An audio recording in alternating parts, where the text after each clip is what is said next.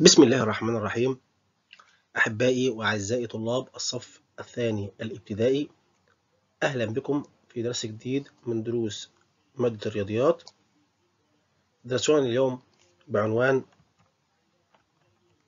القسمة بالتوزيع الوحدة التاسعة.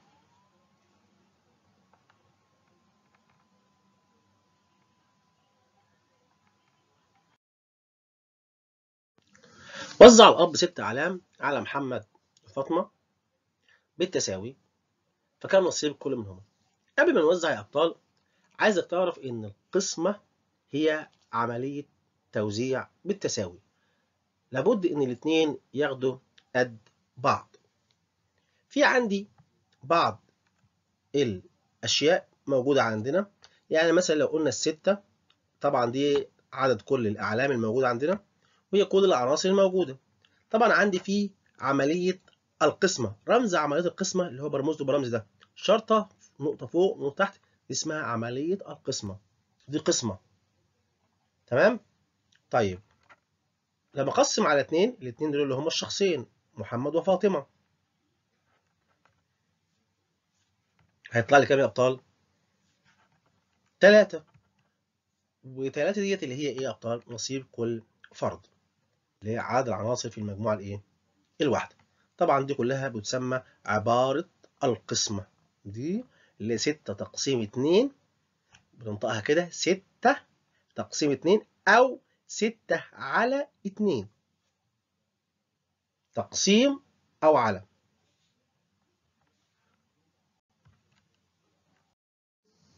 أكمل مستعينا بالصورة على طبعا إحنا قلنا إن الستة تقسيم اتنين هتساوي تلاتة. هنا الأربعة لما نحب نوزعهم على محمد وفاطمة كل واحد ياخد كام؟ لو حطينا هنا واحد نعطيها واحدة وهو ياخد واحدة وهي تاخد واحدة يبقى كل واحد أخد كام يا أبطال؟ كل واحد ياخد اتنين. يبقى أربعة تقسيم اتنين هتساوي اتنين. هنا مجموعة من الشوكولاتة موجودة أمامي كلهم تمانية حبينا نوزعهم عليهم الاثنين كل واحد هياخد أربعة يعني تمانية على اتنين هتساوي أربعة. أوجد ناتج القسمة. طبعا يا أحبائي عندي مجموعة من الأقلام يراد توزيعها في خمسة من العلب أو خمسة من المحافظ. يبقى نقول عشرة تقسيم خمسة نضع في كل واحدة كام؟ اتنين. أيضا عندي مجموعة من الفاكهة التفاح كلهم 12 يراد توزيعهم في 3 من السلال. طبعا هنضع في كل واحدة كام يا بطل؟ كل واحدة 4 يبقى 12 تقسيم 3 هتساوي 4 اكتب عبارة القسمة المناسبة. عندي مجموعة من الشوكولات. يراد توزيعها في 4 علب. هنعدهم كلهم 2 ادي 4 6 8 يبقى 8 تقسيم 4 نضع في كل واحدة اتنين بالتساوي. مثال آخر عندي مجموعة من الأعلام يراد توزيعها على شخصين. نعدهم الأول اتنين أربعة ستة تمانية عشرة. يبقى عشرة من الأعلام. هنوزعهم على الشخصين فكل واحد هياخد خمسة. يبقى إذا عشرة تقسيم اتنين هتساوي خمسة أو عشرة على اتنين هتساوي خمسة.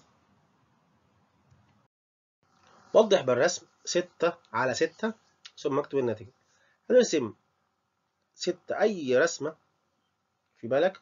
ممكن نرسم ست نجوم. بعد كده نرسم ست دواير ونبدأ نوزع الستة على ستة. الدائرة الأولى أنا هضع فيها واحد وهكذا في الثانية نفس واحد برضو. وزعهم بالتساوي كل دايرة واحد. إذا كده قسمنا كام يا بطل ستة. على ستة يبقى كل واحد ياخد كام؟ واحد. اكتب عبارة القسمة المناسبة. عندك مجموعة من النقود عايزين نوزعها بالتساوي على الأربع حصالات. طبعا هم كلهم أربعة يبقى 12 تقسيم أربعة نبدأ نوزع نضع في كل حصالة واحدة ونكرر نفس العملية وهكذا. إذا في كل حصالة يوجد كام يا أبطال؟ تلاتة. يبقى اتناشر تقسيم أربعة هتساوي تلاتة. المجموعة التانية.